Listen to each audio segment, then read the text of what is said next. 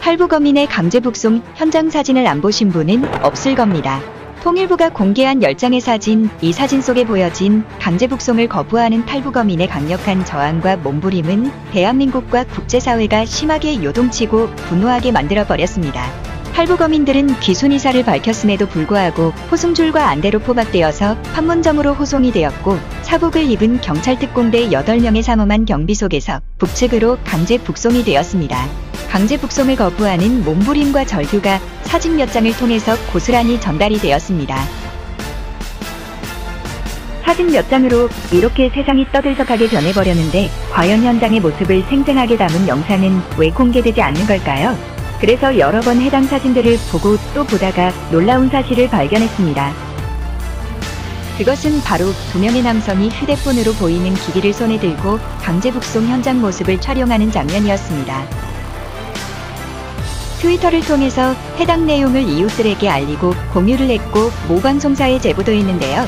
반응은 아주 뜨거웠고 해당 영상이 하루빨리 공개되기를 희망한다 라는 답변들을 많이 해주셨습니다. 그리고 좀 더 많은 분들과 공유하고 공감해야겠다는 생각으로 이렇게 유튜브 영상을 만들게 되었습니다.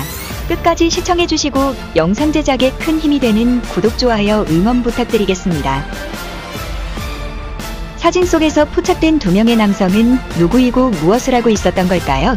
통일부는 판문점에서 이루어진 강제 북송 현장 사진을 공개할 때 영상은 없냐? 라는 질문의 동영상은 없다 라고 발표를 했습니다. 하지만 사진 속의 두 명의 남성이 휴대폰으로 보이는 기기를 손에 들고 현장 상황을 찍고 있는 모습이 포착되었습니다.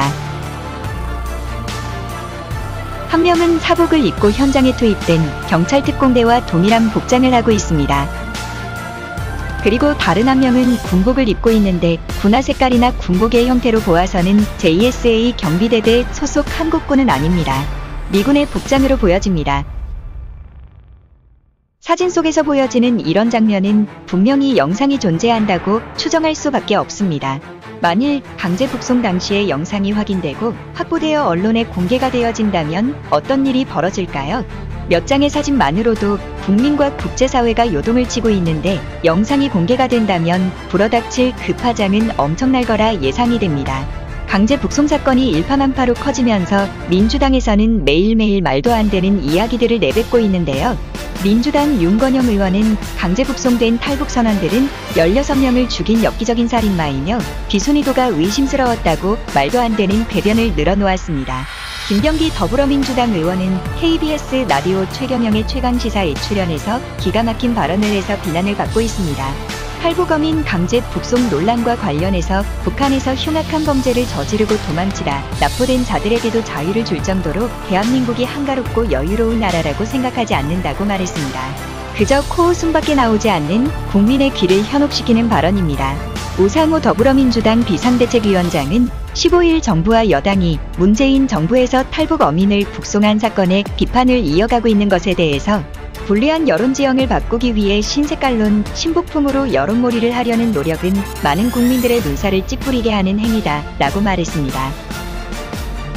그리고 좌파들은 매일매일 좌편향 방송을 통해서 분노한 국민들의 판단을 흐트려 놓으려고 여론조작 물타기를 계속하고 있습니다. 서해 공무원 피살 사건을 월북 조작으로 몰고 가더니 이번 강제 북송 사건은 그 화살이 문재인으로 직접 향하고 있다는 것을 감지했는지 필사적인 몸부림을 치고 있습니다. 하루빨리 해당 영상이 만천하에 공개가 되어 그들의 뻔뻔하고 야만적인 악행들이 고스란히 밝혀져야 할 겁니다. 이번 강제 북송 사건은 어떻게 세상에 드러났을까요?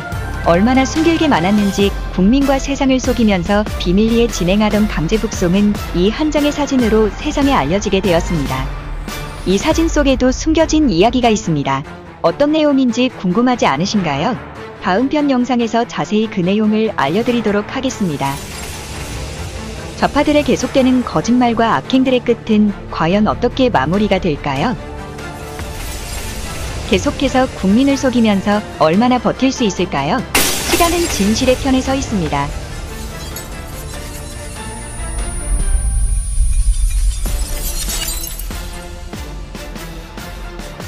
장두놈이 머리는 숨겨도 꼬리는 감추지 못한다는 뜻입니다. 진실은 밝혀지게 되어 있습니다. 지금까지 시청해주셔서 감사드리고 구독과 좋아요 부탁드리겠습니다.